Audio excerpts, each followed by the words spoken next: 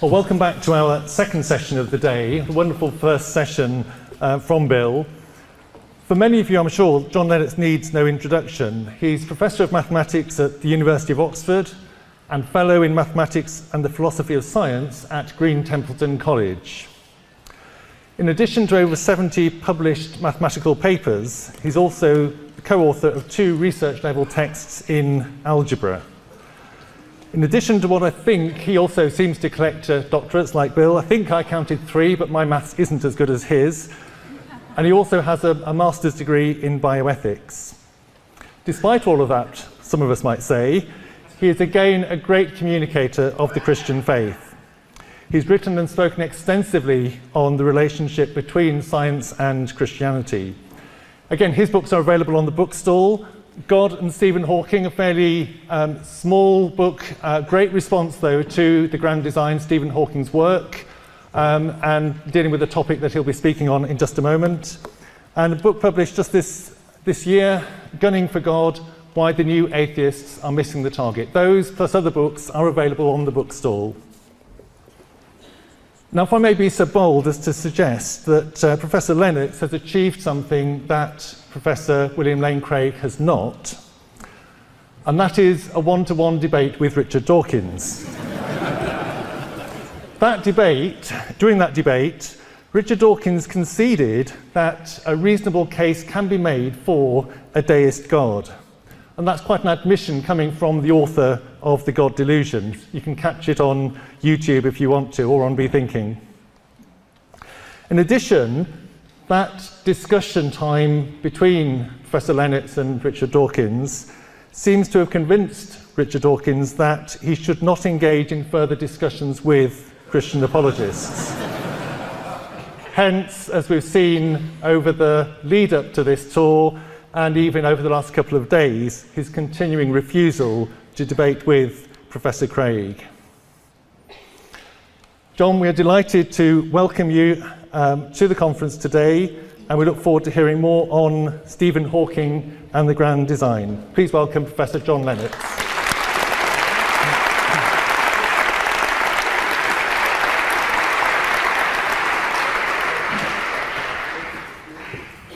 Well, ladies and gentlemen, thank you for that very warm invitation. Now that we've settled the question of the existence of God, I suppose it only remains to settle the probable existence of Richard Dawkins. and I'm reliably informed that there's a bus running around Oxford suggesting that he might not exist. it is a pleasure to be asked to be with you and to join in this fascinating week when Bill Craig has been touring the country talking about the existence of God. And my brief is to talk to you about probably the most powerful scientific voice that has been added to the atheist choir. And that is the voice of physicist Stephen Hawking. Around the world, the headlines were full of it. Stephen Hawking says physics leaves no room for God, and so on and on with many variations. And these headlines were referring to the publication of his book co authored with Leonard Mlodinow entitled The Grand Design. That book went straight to the top of the bestseller charts. And of course, the public confession of atheism by a man of such high intellectual profile as Hawking had the instant effect of ratcheting up the debate by several notches. What are we to think of it? Because it certainly has disturbed many people, particularly young people. One young man wrote to me and he said uh, he recalls the shock of stopping at a filling station and reading on the hoarding, physicist Hawking says physics has no room for God. He was a Christian. And he said to himself, Well, what chance have I of entering into this debate? And he said the actual effect of reading that was visceral. And it seems to me, therefore, that it is enormously important at all levels to address these questions Because whether we like it or not, science has an immense cultural authority in our society today. And I enter these debates with some reluctance, because one of the characteristics of this whole debate is that we tend to be operating in fields beyond our own professional competence. And I shall have to do that today. I am a professional pure mathematician. That is my field. But of course, these things go beyond science, as we shall see in a moment. And that is why I made a small attempt to respond to Hawking. If he pronounces that there is no God in the name of physics, does it mean that all theologians should resign their chairs forthwith? All church workers hang up their hats and go home? Is it really true that the grand master of physics has checkmated the grand designer of the universe? Now, it is an immense claim to have banished God. After all, the majority, I suppose, of scientists, particularly in the past, have believed in him, and many of us still do. Were Galileo, Kepler, Newton, and Maxwell, to name just a few, really all wrong on the God question? Now, Stephen Hawking is without doubt the world's most famous living scientist. He was a little ahead of me at Cambridge. He is light years ahead of me in his intellectual capacity. And he has recently retired from the Lucasian Professorship in Cambridge, a chair held once by Sir Isaac Newton. His academic distinction has been stellar. And he has been an outstanding symbol of fortitude, having suffered the ravages of motor neuron disease for over 40 years.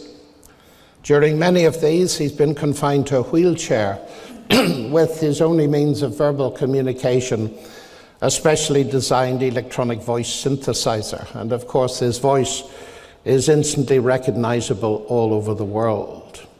He has explored with many colleagues and students the frontiers of mathematical physics, and most famously, uh, perhaps, the counterintuitive mysteries of black holes. His work has led to the prediction of Hawking radiation, and if that were verified experimentally, he would probably win the Nobel Prize. So we're talking about a very, very intelligent person. His runaway bestseller, A Brief History of Time, once described as the most unread book in history, because many people did not succeed in getting beyond page two, brought the recondite world of fundamental physics to the coffee table. And that book was followed by several others in the same vein. And of course, these books, as they deal with the origin of the universe, inevitably consider the question of the existence of a divine creator. And perhaps very cleverly, in his book A Brief History of Time, Hawking left the matter tantalizingly open by ending with a much quoted statement that if physicists were to find a theory of everything, that is, a theory that unified the four fundamental forces of nature, we would know the mind of God. All that reticence has disappeared in the book The Grand Design. He challenges belief in divine creation. According to him, it is the laws of physics and not the will of God that provide the real explanation as to how the universe came into being. The Big Bang, he argues, was the inevitable consequences of these laws. And the central statement of the book is this because there is a law such as gravity, the universe can and will create itself from nothing. Now, the very title, The Grand Design, of course, suggests to us the existence of a grand designer, which is actually what the book is designed to deny. Hawking's grand conclusion then is that spontaneous creation is the reason there is something rather than nothing, why the universe exists, why we exist. It is not necessary to invoke God to light the blue touch paper and set the universe going. Now, I want to make it clear, ladies and gentlemen, that I do not wish to engage specifically with Hawking's science. That is beyond my range of competence, and I'm very pleased that Bill Craig led you into some of the mysteries of the multiverse, M theory, string theory, and all the rest of it. So that relieves me of the need to attempt to do which I would in any case find impossible. What I'm interested in is what he deduces from his science. And that, of course, is the thing that affects us all. And the book tantalizingly opens with a list of the big questions that people have always asked. How can we understand the world in which we find ourselves? How does the universe behave? What is the nature of reality? Where did all this come from? Did the universe need a creator? And when you read a list of questions like that, written by such a distinguished scientist, you get, as I did, very excited. Here we're going to listen to a world class mathematical physicist give his insights on some of the found, profoundest questions of philosophy and metaphysics. Now, if that's what we expect, we're in for a shock. Because in his very next words, Hawking dismisses philosophy. Referring to his list of questions, he writes Traditionally, these are questions for philosophy, but philosophy is dead. It has not kept up with modern developments in science, particularly in physics. As a result, scientists have become the bearers of the torch of discovery in our quest for knowledge. Now, this is an incredible statement for anybody, let alone a scientist, to make, because you only have to read the book to see that it is a book about philosophy. And a book about philosophy and metaphysics that states at its beginning that philosophy is dead immediately sets alarm bells going if you have any notion of the basic philosophical issues. It is, of course, unwarranted hubris, dismissing philosophy, which is a discipline very well respected and represented at Hawking's own University of Cambridge, and I presume at Mlodinow's as well. And I wish to suggest that this book constitutes very disturbing evidence that at least two scientists, Hawking and Mlodinow, not only have not kept up with philosophy, but they do not appear to understand much about it. Bearing out Einstein's very perceptive comment that the scientist is a poor philosopher. Now, I'm well aware that people who live in glass houses shouldn't throw stones and that that epithet and descriptor may apply to me, but that's for you to judge. But I shall proceed at the level of the public understanding of science, which, if you recall, was Dawkins' chair at Oxford. What are we, the intelligent public, to make of this kind of thing? But first, a comment on that remark that scientists have become the bearers of the torch of discovery. That's very close to the view that we call scientism, the notion that science is the only way to truth. And that conviction really characterizes many of the new atheists, particularly uh, Richard Dawkins and now apparently Stephen Hawking. Nobel laureate Sir Peter Medawar pointed out some time ago the danger of this scientific view in a wonderful book called Advice to a Young Scientist. He said, There is no quicker way for a scientist to bring discredit upon himself and upon his profession than roundly to declare, particularly when no declaration of any kind is called for, that science knows or soon will know the answers to all questions worth asking. And that questions which do not admit a scientific answer in some way non questions or pseudo questions that only simpletons ask and only the gullible profess to be able to answer.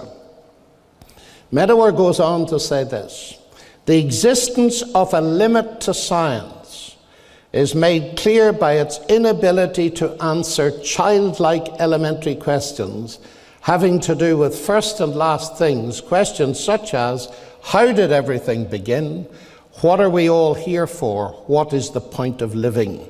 And he adds that it is to imaginative literature and religion that we must turn for the answers to such questions. Francis Collins is equally clear on the limitations of science.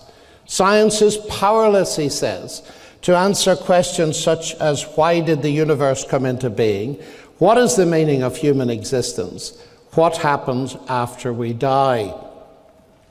Now, it is clear that Medawar and Collins are passionate scientists, so that there is no obvious inconsistency involved in being a committed scientist in the highest level, while simultaneously recognizing that science cannot answer every kind of question, including some of the deepest questions that human beings can ask. So, Hawking appears to be unaware of this. And I want to go straight to the heart of the book, The Grand Design, with this central claim because there is a law of gravity, the universe can and will create itself out of nothing. Now, perhaps the first question to ask is what does Hawking mean when he uses the word nothing? The universe can and will create itself out of nothing. Because notice the assumption in the first part of that statement because there is a law of gravity. That is an assertion of existence. Because there is something, the universe will create itself out of nothing. It's a very odd way to start, isn't it? Hawking assumes that there is a law of gravity. But one might want to be generous and presume that he also assumes that gravity exists, for the simple reason that an abstract mathematical law on its own would be vacuous with nothing to describe, a point to which I shall return. But the main issue, surely, is this gravity or a law of gravity is not nothing. If Hawking is using that word in its usual philosophically correct sense of non being, if he's not, he should have told us. So, the heart of this book appears to be an assertion that the universe is simultaneously created from nothing and from something, which I do not regard as a very promising start. Now, of course, I am aware that when physicists talk about nothing, they often appear to mean a quantum vacuum, which is manifestly not nothing. And Hawking alludes to it later in the book. We are a product, he says, of quantum fluctuations in the very early universe. I'm tempted to suspect that a lot of this is a bit too much ado about nothing. now, I know it's late in the morning for logic, ladies and gentlemen, but I just pointed out to you what I think is the first level of self contradiction in Hawking's statement. But I believe there to be three. And I have subsequently tried to invent a sentence in English that also contains three levels of self contradiction, and I haven't been able to do so. So, my challenge to you is to try and copy Hawking by producing something parallel to it. Let's analyze it a bit further. The universe can and will create itself. Now, if I say X creates Y, I'm presupposing the existence of X in order to bring Y into existence. That is what the word means. So if I say X creates X, I am presupposing the existence of X to account for the existence of X. Well, this is obviously self contradictory, and it's logically incoherent, even if we put X equal to the universe. To presuppose the existence of the universe to account for the existence of the universe sounds like something out of Alice in Wonderland, not science. Now, that's a second distinct level of contradiction. The first one you will recall is the universe is created out of something which is nothing. The second is it creates itself. But then the notion that the law of gravity, that a law of nature explains the existence of the universe, is also self contradictory. Since a law of nature, by definition, surely depends for its own existence on the prior existence of the nature it purports to describe.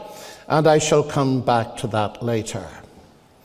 So I would submit to you, however provocatively it may seem to you, that the main conclusion of the grand design turns out to be a triple self contradiction.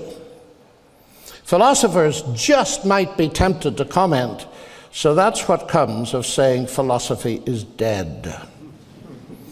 Oxford chemist Peter Atkins, whom I believe is to be the subject of a debate later, believes, I quote, that space time generates its own dust in the process of its own self assembly. Atkins dubs this the cosmic bootstrap principle, referring, of course, to the self contradictory idea of a person lifting himself by pulling on his own bootlaces. Well, our Oxford colleague, Keith Ward, is surely right to say that Atkins' view of the universe is as blatantly self contradictory as the name he gives to it, pointing out that it is logically impossible for a cause to bring about some effect without already being in existence. Ward concludes between the hypothesis of God and the hypothesis of a cosmic bootstrap, there's no competition. We were always right to think that persons or universes who seek to pull themselves up by their own bootstraps are forever doomed to failure. What this goes to show, ladies and gentlemen, is that nonsense remains nonsense even when it's talked by world famous scientists. but what it serves to obscure what serves to obscure the illogicality is the fact that the statements are made by scientists. Because it seems to me in the whole contemporary debate, one of the dangers, a real danger, is that we confuse a statement by a scientist with a statement of science.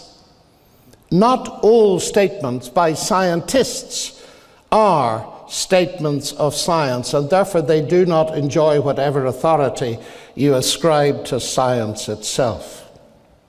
Immense prestige and authority do not compensate for faulty logic.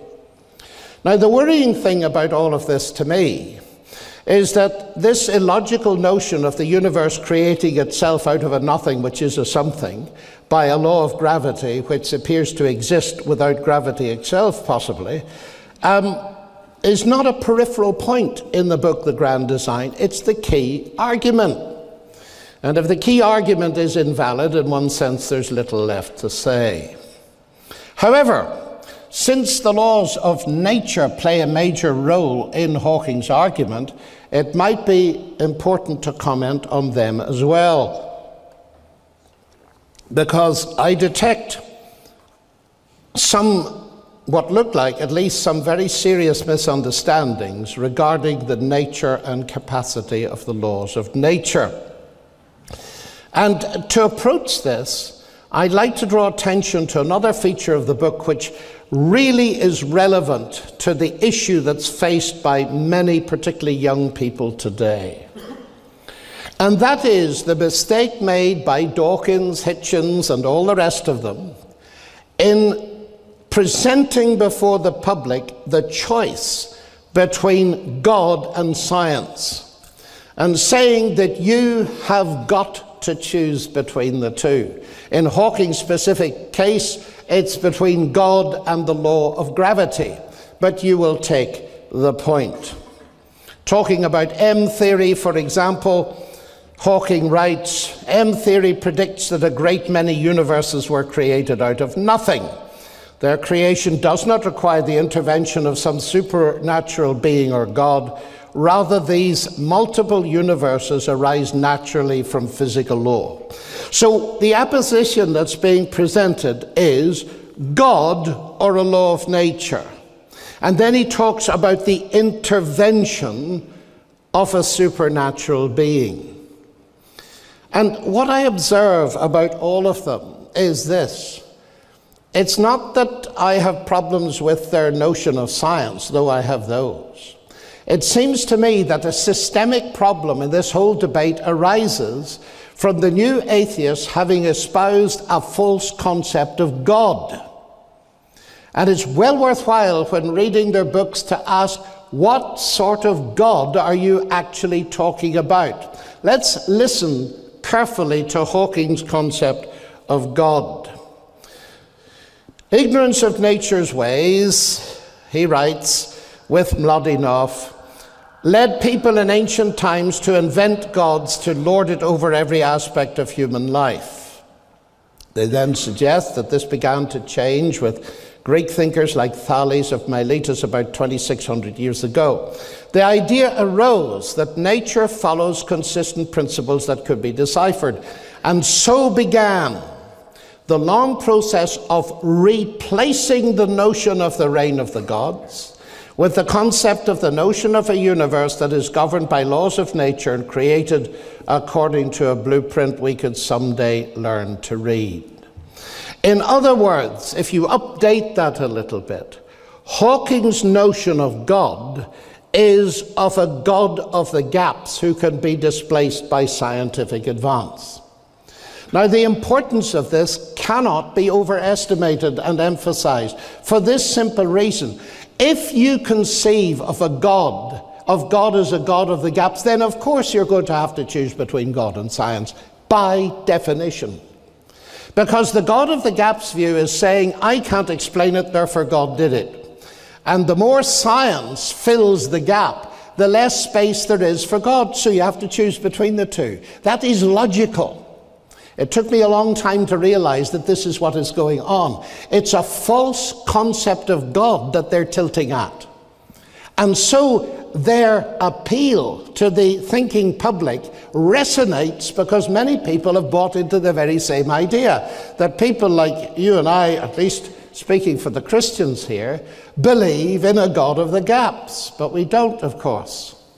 We believe in a God who's not only a God of the gaps, but God of the whole show. He's not, of course, merely the God of the deists who lit the blue touch paper. He both created the universe and constantly sustains it in existence. Without him, there would be nothing for physicists like Hawking to study. So that God is, according to the Christian faith at least, the creator both of the bits of the universe we don't understand and the bits we do. And of course, it's the bits we do understand, by definition, that give us the most evidence of God's existence and activity. And the logic of that is very simple. My admiration of the genius behind a work of engineering uh, or art increases the more I understand the difficulty and the competences that lie behind it. So, the more I understand science, the more my worship of the Creator increases. And what Hawking and Mlodinow are doing here is to make a classical category mistake by confusing two entirely different kinds of explanation. Explanation in terms of physical law, and let's add mechanism for good measure, and personal agency. So, inviting us to choose between God and science not only depends on a false concept of God, it depends on making a profound mistake in what constitutes an explanation. God is an explanation of the universe but not the same type of explanation as that given by physicists. Suppose, to make it clearer, I replace the universe by a jet engine, and we're asked to explain it. Well, we could explain it in terms of the laws of nature, mechanical aero engineering, and so on. Or we could explain it by saying it was the personal invention of Sir Frank Whittle. It would be utterly nonsensical to ask an audience to choose between the two. Do you accept that the aero engine came about by, um, I suppose, unguided natural processes arising from the laws of physics, or by Sir Frank Whittle's inventive genius? And you would say that's absurd. To give a complete explanation which is not merely a scientific explanation, you of course need both. I find school children can follow this. I find Dawkins cannot. I wonder why there is a difference. Perhaps uh, I'm scared now that he's uh, descended to writing books for school children. But anyway, this seems to me to be immensely important. That God as an explanation is not the same kind. I think it was Richard Swinburne who once said, I do not deny that science explains, but I postulate God to explain why science explains. God is, in that sense, the ground of all explanation. And so, at that level, the explanations are complementary. And it, it is noteworthy that this category mistake that Hawking, following Dawkins, makes was not made by Newton, at least not in the context of the law of gravity. Because when Newton discovered the law, he did not say, Now that I have the law of gravity, I don't need God. What he did do was write Principia Mathematica, the most famous book in the history of science, expressing the hope that it would persuade the thinking man to believe in God. But there's more to be said. The laws of physics can explain how the jet engine works but not how it came to exist in the first place. It is self evident that jet engines could not have been created by the laws of physics on their own. That task needed intelligent input, creative engineering, the work of Frank Whittle. But not even the laws of physics, plus the creative genius of Frank Whittle, could produce a jet engine there needed to be some material stuff subject to those laws that could be worked on by Whittle. Matter, ladies and gentlemen, may be humble stuff, but it isn't produced by laws. Now, the jet engine can help us further because it helps us to see where some of the possible limits of science are. And as one of the general points is often made, people say that science generally speaking, asks the how questions how does the jet engine work? Or the why question regarding function why is this pipe here and, and uh, why is that one there? But it doesn't ask or answer the why questions of purpose. And of course, that is why Whittle himself will not normally appear in any lectures one might give on aerodynamics. You see, as a mathematician, I'm often um, faced with Laplace's famous um, statement to Napoleon when Laplace, a brilliant um, French mathematician, had presented his book to Napoleon, and Napoleon said to him, And uh, where is God in this? And Laplace's reply was, Je n'ai pas besoin de cette hypothèse. I don't need that hypothesis. And of course, he was dead right. If I'm explaining how a projectile moves in a parabolic orbit in a vacuum under gravity, I, I don't mention God either. But if I were asked, or if Laplace had been asked, why is there a universe at all which obeys these laws? He might have had to mention God, mightn't he? He was answering the right question, of course, with the right answer. As to its re- relevance to the existence of God, it has, of course, none.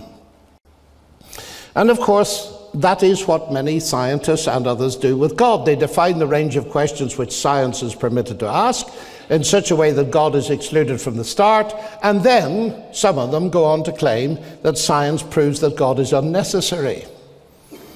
That is very curious, a bit of logic, isn't it? And they often fail to say that it is their assumption, their atheist worldview, not science as such, that excludes God.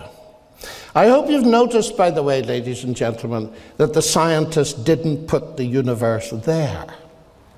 Indeed, I'm often tempted to reflect, because it keeps one humble, that any scientist studies a given with a given. The universe is a given, the human mind is a given. So we ought to be humble enough to realize that what we're doing is studying a given with a given. But if scientists didn't put the universe there, neither did their theories nor the laws. And yet Hawking seems to suggest they did. Is the unified theory so compelling, he wrote in A Brief History of Time, that it brings about its own existence? There's the self contradictory self reference again. Now, much as I find it hard to believe, Hawking claims that all is necessary to create the universe is the law of gravity. And when he was asked on Larry King Live, which I believe is an American TV program, where gravity came from, he answered M theory. So gravity comes from theory. That's where it comes from. Well, to say that a theory or a physical law could bring anything into existence is surely to misunderstand what theory is. Scientists construct theories involving mathematical laws to describe natural phenomena. But on their own, those theories and laws cannot cause anything, let alone create it. It's delightfully ironic, isn't it, that it was none other than William Paley who pointed this out a long time ago. He's speaking of the person who just stumbled on a watch on the heath, the famous story. He says that such a person would be not be less surprised to be informed that the watch in his hand was nothing more than the result of the laws of metallic nature. It is a perversion of language to assign any law as the efficient operative cause of anything. A law presupposes an agent, for it is only the mode according to which an agent proceeds. It implies a power, for it is the order according to which that power acts. Without this agent, without this power, which are both distinct from itself, the law does nothing, is nothing.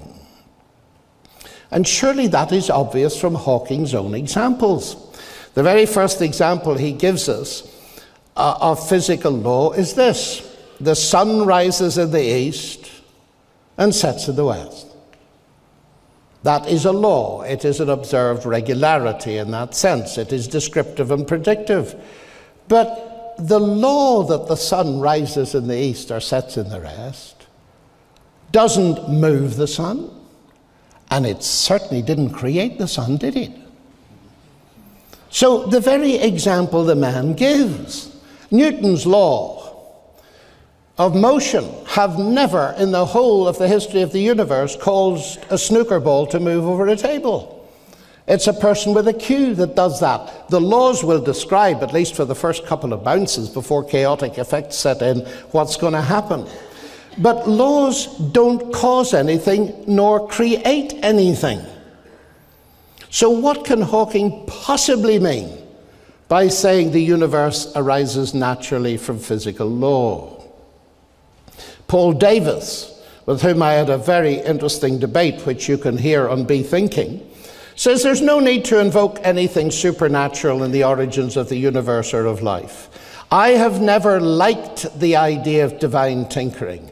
For me, it is much more inspiring to believe that a set of mathematical laws can be so clever as to bring all these things into being. Well, I've never liked divine tinkering is not exactly a scientific evaluation. I have not liked. And incidentally, Sir Martin Rees, who was quoted earlier, he says people like John Polkinghorne like the explanation of a creator. I prefer the multiverse. We're out of science here, ladies and gentlemen. We're talking about preference. And you will notice that Paul Davies said, I don't like the idea of divine tinkering. So you describe the thing in such a way as to make it sound pejorative and negative and trivial, and then you dismiss it. This isn't science. But it's amazing because he says he likes the idea that a set of mathematical laws could be so clever. Once I had a little conversation with Peter Atkins, I'm sure he wouldn't mind uh, me telling you. If you want to see a lengthy debate between me and Atkins, it's on YouTube somewhere. It's called Dueling Professors. And uh, I said to Peter, Peter, tell me, what do you think created the universe? And he said, Oh, mathematics. So I started to laugh. And he said, Why are you laughing? He was a bit put out. I said, Well, Peter, I'm a mathematician, and that must be the silliest statement I've ever heard in my life. And he said, Why? Well, I said, Peter, one and one make two. Did that ever put two pounds in your pocket? now, of course, I'm not clever enough to have thought of that myself. I got that from C.S. Lewis. And C.S. Lewis saw this with characteristic clarity. Of the laws of nature, he writes, they produce no events. They state the pattern to which every event, if only it can be induced to happen, must conform, just as the rules of arithmetic state the pattern to which all transactions with money must conform, if only you can get hold of any money. Thus, in one sense, the laws of nature cover the whole field of space and time. In another, what they leave out is precisely the whole real universe.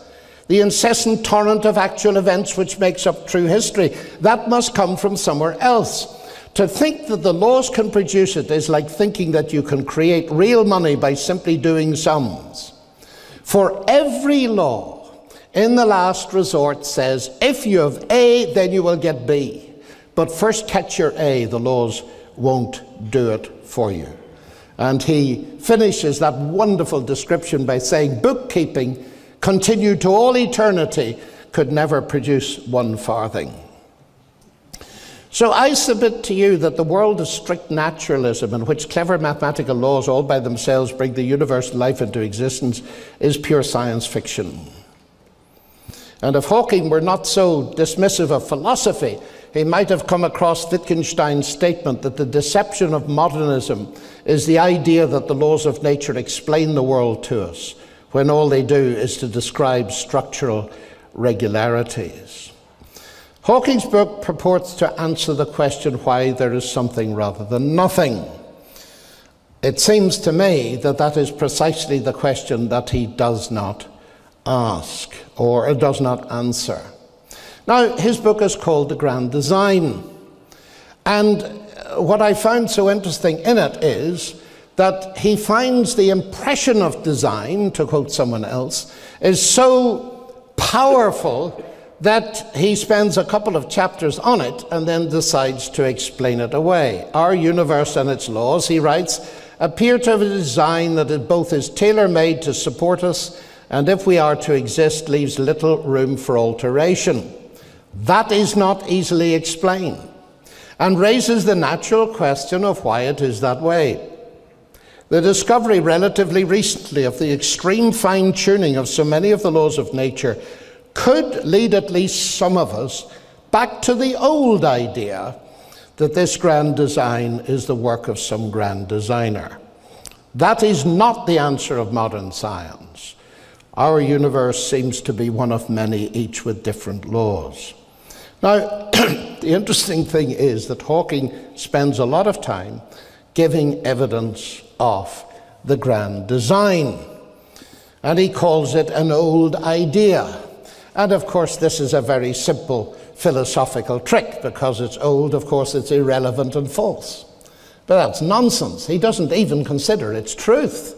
He simply calls it old. And he says it's the answer of modern science. Now, that is going miles too far. What he might say, that is not the answer of some modern scientists. Because, so far as I can see, science has not got a unified view on the matter. Now, uh, Bill Craig has done me a great favour in going into the multiverse thing in detail. And one of the very interesting things is that Hawking advances the multiverse and M theory and all of the rest of it as an alternative to God. And he falls into the very same mistake he did at a lower level earlier God or the multiverse. But if there is more than one multi universe, how is that an argument against the existence of God? God could create a multiverse, couldn't he? In fact, there are rustling hints in a book that I am moderately familiar with called the Bible that this might not be quite the only realm of existence. How is that possibly in itself an argument against the existence of God? Again, it's a little bit of a con trick. Now, of course, all this M theory um, and multiverse theory is fascinating. I am not an expert in it. But just to be slightly flippant, to wake you all up for a moment, I'm tempted to say that belief in God seems to me to be a much more rational option if the alternative is to believe that every other universe that can possibly exist does exist, including one in which Richard Dawkins is the Archbishop of Canterbury, Christopher Hitchens the Pope, and Billy Graham has just been voted Atheist of the Year. Now, in the times when Hawking's book appeared, there was a letter from a very distinguished student of his called Don Page, who is a professor of theoretical physics, has written a number of papers with Stephen Hawking and now teaches at the University of Alberta. And I wrote to him because he distanced himself from Hawking's conclusions. And uh, Don Page is actually a Christian, and he wrote this to me, and he has given me permission to quote it to you. I certainly would agree that even if M theory were a fully formulated theory, which it isn't yet, and were correct, which of course we don't know, that would not imply that God did not create the universe. So, arguments about the status of M theory are, in a sense, irrelevant to us this morning. The only thing I would point out is that Roger Penrose, an equally distinguished mathematician working in Oxford, said that M theory is very far from any testability.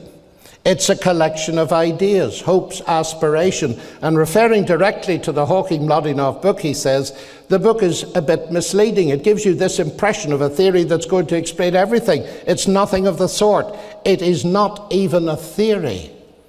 Indeed, in Roger Penrose's estimation, M theory was hardly science. And perhaps you should note that Penrose is a member of the British Humanist Association. There's a wonderful review of Hawking's book given by Tim Radford. It goes like this. In this very brief history of modern cosmological physics, the laws of quantum and relativistic physics represent things to be wondered at but widely accepted, just like biblical miracles. M theory invokes something different a prime mover, a begetter, a creative force that is everywhere and nowhere. This force cannot be identified by instruments or examined by comprehensible mathematical prediction, and yet it contains all possibilities. It incorporates omnipresence, omniscience, and omnipotence, and it's a big mystery. Remind you of anybody? I want to make two further points. We've started late, so I shall finish late. Much of the rationale of Hawking's argument lies in the idea there's a deep seated conflict between science and religion. I don't recognize that discord. What I do recognize is the sheer importance of not forgetting history. Because the notion of a grand designer, far from being some peripheral, freakish idea, is actually the notion that gave us modern science as we know it. Now I'm talking about modern science.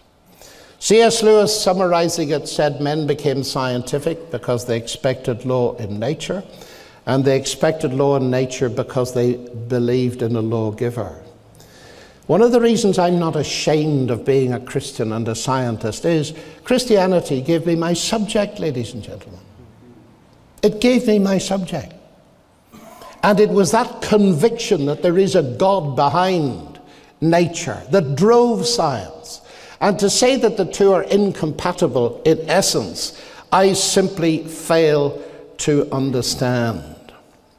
Hawking, of course, towards the end of his book, undermines it completely when he goes into the nature of the apparatus that does the science. Science is a rational human activity.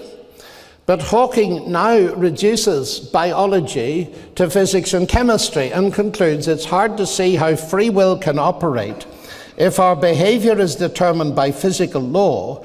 So it seems we are no more than biological machines and that free will is just an illusion. Well, of course, if the book The Grand Design is written by two determined, free, uh, determined biological machines, it has no significance whatsoever, and we can dismiss it at once. It is amazing to me how the reductionism of the new atheism undermines not Christianity, of course it undermines that, but it undermines the very thing we need to hold on to to do science. And that is the objective belief in the rational intelligibility of the universe out there. And secondly, the belief that rational intelligibility exists. That is, that the human mind in here can, to a certain extent, understand the universe out there. Einstein said he could not imagine any scientist without that faith. Physics doesn't give it to us, as John Polkinghorne points out. Physics is powerless to explain the rational intelligibility of the universe for the simple reason that you cannot do any physics without believing it in the first place. So, ladies and gentlemen, my chief objection to the new atheism is not because I'm a Christian. In a way, it's because I'm a scientist. And by reducing thought as it must do, because there is no transcendence, by reducing thought to the firing of synapses in the human brain, it demolishes the very rationality on which it depends to exist and to formulate its own theories. In other words, it's guilty of the ultimate in self contradictions. My very last thought is that I was amazed to discover that Hawking is picked up in Dawkins. I was even more amazed to discover when I debated Peter Singer just recently in Melbourne on the existence of God that he comes up with the ultimate defeater for believing in God as an explanation. If you say that God is the explanation of the universe, then logically you've got to ask the question who created the Creator? And then you end up in an infinite regress. And so that's absurd. End of story. Now, that is Dawkins' chief argument in the God delusion. I can't believe that, ladies and gentlemen. Let's analyze it. The final bit of logic for this morning. If you ask the question, who created the Creator? You presuppose the Creator is created by definition. Philosophers have a name for that. They call it the complex question, in that it constrains the possible range of solutions without you realizing it. Who created the X presupposes that X is created. So it has no relevance to an X that is not created. Of course not. So you see, the question is, in Dawkins' words, a non question. Because the Christian claim is, of course, that God is eternal. He never came to exist.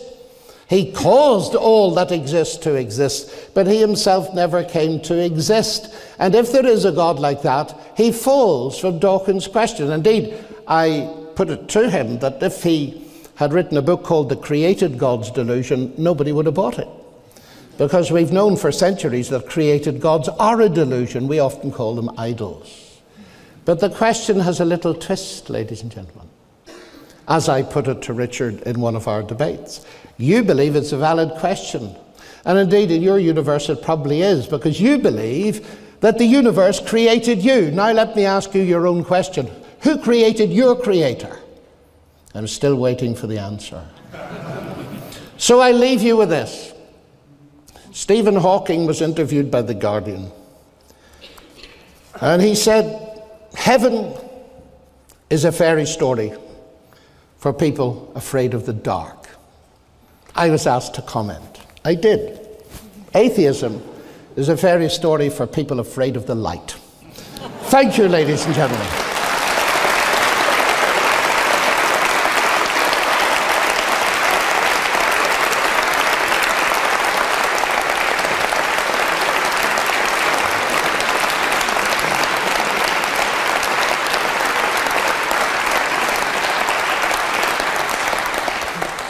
Thank you very much indeed, John, for that wonderfully helpful um, exposition of uh, to get us help us to get to grips with uh, Stephen Hawking and his grand design. Now, John has a, a rather unique way of addressing uh, his question and answer sessions, so I'm going to leave that to him. If you would like to go to the microphones, if you have a question, and then I'll leave it, to John, to conduct that. Well, now, ladies and gentlemen, what I like to do is this in a room like this, there are so many questions. And what I like to do is to try to give as many as possible a chance. I collect the questions before I answer any of them, so as we've some idea of what's going on in the room. So formulate your questions succinctly so that I can understand it, and I will write it down, and then when I've collected enough, I will have a go at responding to you. Okay? So off we go. You can see my tactics, ladies and gentlemen. If I go on writing these long enough, I won't have to answer any of them. okay, that's it. Good. Well, that gives us an idea of what's buzzing around in your head. Thank you for these questions. You're now about to plumb the depths of my ignorance as I uh, seek to um, uh, have a look at them. Now, many see atheists as attacking something we don't believe in. What do we do about it? This question actually is immensely important and relevant to what we're doing today. Because it seems to me that there are several areas where it's very easy for me to assume what they are using a particular term to describe. Now, I have given you one example today, is that the atheist concept of God is totally inadequate. And it tends to be a God of the gaps, and I'm almost attempted to suggest that the idea of a created God is not far from most of their imaginations in the more sophisticated Freudian sense. And we need to attack those kind of arguments. Incidentally, there is a wonderful book been written on the Freudian argument, which all the new atheists use, by a man called Manfred Lutz. I hope it gets translated into English. It's called Eine kleine Geschichte des Größten, a brief history of the great one. And the point he makes is this, and I've used it and found it very helpful. If there is no God, Freud will give you a brilliant explanation of why religion is invented as a wish fulfillment, if there is no God. But then he says, of course, if there is a God, Freud will give you an equally brilliant explanation of why atheism is a wish fulfillment of the desire not to meet God and to have anything to do with Him. And he goes through the major psychologists and psychiatrists, and his bottom line is on the question whether there is a God or not, Freud can't help you. And I find that useful in discussion. Another example of this, and possibly it's the most important one, it's the redefinition of faith that the new atheists have been very clever in putting around. In Oxford, I have a constant discussion with my colleagues. And what has happened is this faith has been redefined in two directions. Direction number one is that it's a peculiarly and solely religious concept. It's got no application to science. Secondly, it means believing where there is no evidence. Now, if you want to do an interesting exercise, look up the OED and Webster's dictionary, and you'll see a difference between them because Webster's dictionary, I was amazed when I discovered this, now is an entry faith believing where there's no evidence. And yet, of course, in English and in the cognate languages, uh, faith comes from fides, trust, reliability, and we all know that faith is connected with evidence. If you don't believe that, think of the banking crisis. When we fought, we had a basis for faith in certain bankers, and we discovered we couldn't, and the whole market froze until confidence is built up. Everybody in Britain, at least, and in America and Europe, understands what evidence based faith is. Now, this is extremely important that we uh, emphasize this because the atheists think that their belief system is not a faith. I mean, Peter Singer, in my recent debate with him, it was, I can hardly believe that this exchange took place. He, he said, Of course, my big objection to religion is that people remain in the religion that they were brought up with. I just told them honestly that my parents were believers from a sectarian country, but they weren't sectarian and they'd allowed me to think. So I was the prime example. So I turned to him and I said, Peter, tell me about your parents. What were they? Were they atheists? Yes. Oh, I said, so you remained in the faith that you were brought up in. oh, but he said, it isn't a faith. I said, really? Don't you believe it? now, that little interchange gives the whole thing away, doesn't it? Look at the concepts of faith and belief that lie behind that. Now, this is one of the world's top philosophers. I was just staggered by this. You see, there's immense confusion here. The other side of that, of course, is that faith is essential to science. And what the new atheists have cleverly done is redefine faith so they don't realize that theirs is a faith system. And I explained where faith is involved in science. But in their system, you see, Dawkins accused me, well, he quite rightly, he, he sussed out that I am an Azeusist, and I confess it to you. I don't believe in Zeus. I am an atheist with regard to Zeus, Wotan, and a whole lot of other gods. So he said, I'm just an atheist, and there's no big deal. So I said, Richard, half a minute. I notice you haven't written a 400 page book on Azeusism. but you have written a 400 page book on atheism. Why is that? Because although atheism includes a negative, it involves a whole positive philosophy, which we might call naturalism or materialism. And you believe it, it is a belief system. It is very difficult to get this across, I find, even in my own university. Now, the second question was about uh, when Christianity stagnated a bit and what happened to scientific knowledge. I suggest you read T.F. Torrance on that. And he points out, of course, that there were serious problems, the treatment of Galileo by the Catholic Church, although, when you investigate that, the irony of it is marvelous. Because, of course, the reason um, Galileo was attacked by the Catholic Church was that the Catholic Church had bought into Aristotelianism. Galileo was attacked by the philosophers first. They all believed in a fixed earth. And the church had, the Catholic Church had bought into it. And the irony is that there was Galileo who believed in the scriptures when he started and believed in them when he finished. It was actually a believer in scripture. It was challenging a reigning scientific paradigm. That has lessons for today, but I'm not going to go into those because I've gone into them elsewhere. But Torrance would admit that there, of course, there have been difficulties, but nonetheless, he argues in a magisterial work that Merton's thesis stands. Alfred North Whitehead actually wrote about this, and so do many other people. And I worked in Oxford with uh, Professor John Hedley Brooke, who's an expert on it, and he's very cautious. But he would say, generally speaking, the fact is that behind modern science, there is this conviction of an orderly nature. Looking at it from the flip side, Joseph Needham, who is the very famous chemist and an expert in China, sinologist, he was a Marxist and he tried for years to explain the non emergence of modern science, not technology. The Chinese had a lot of technology, but modern science in its abstract conceptualizing um, form. Why did it not emerge in, in China?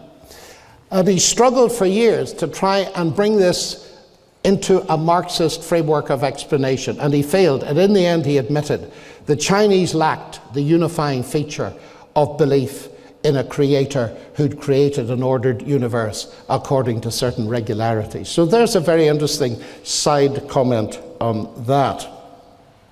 Now, somebody said, What do I make of the fine tuning argument against the multiverse? Well, what I observe, since I'm not an expert physicist, is the vast array of disagreement among the physicists, particularly people who, uh, for whom I have a great respect, Penrose and so on. But of course, we're talking about, we need to be careful what we're talking about. We're talking about a fine tuning that is observed within this universe. And Bill Craig points out in one of his books somewhere that if you argue within this universe and think of it within a multiverse, then the whole question arises as to whether the multiverse is fine tuned.